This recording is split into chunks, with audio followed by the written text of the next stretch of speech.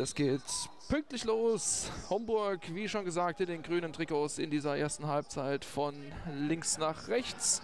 Die Gäste gänzlich in den schwarzen Auswärtstrikots. Können sich lösen und bleiben im Ballbesitz. Angriff jetzt über die linke Seite über Futkeo. Der steckt den Ball durch und dann geht's ins 1 gegen 1 gegen Meier, aber der bleibt Sieger. Auch wieder Seitenverlagerung probiert. Da ist Hofmann, der nimmt den Ball super runter, bringt ihn flach. Jetzt vielleicht mal Platz. Mendler steckt durch auf Hofmann. Der wartet etwas zu lange. Nächster Angriff jetzt der Homburger. Wieder Mendler.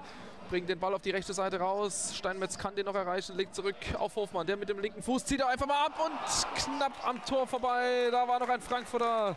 Mendler mit dem linken Fuß steht bereit. Bringt die Ecke rein. Kommt lang und länger. Da legen sie zurück. Harris zieht ab und trifft die Latte. Ball liegt bereit. Freistoß ist freigegeben. Weihrauch läuft an und Pfostentreffer.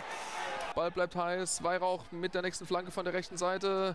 In der Mitte kommen sie mit dem Kopf dran und dann ist es das 1 zu 0 für die Homburger.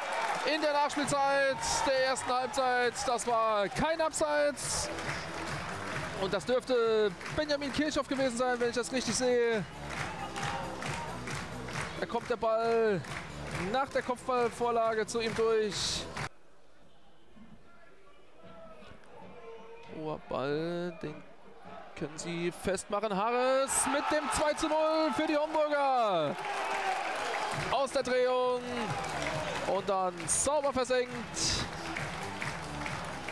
Mendler, der da hochgeht ins Kopfballduell, das Kopfballduell noch verliert, aber dann springt der Ball direkt zu Harris.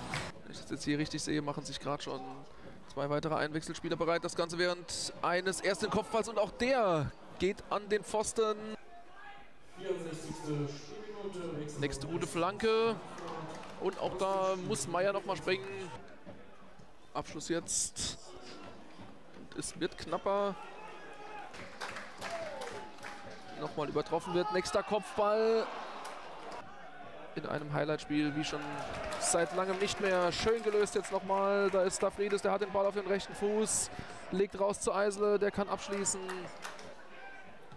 Nochmal Abschluss und wieder an den Pfosten.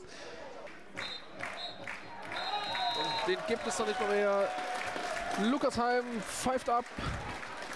Der FC Homburg gewinnt 2 zu 0 und ist über Nacht Spitzenreiter in der Regionalliga Südwest und dementsprechend im Soll.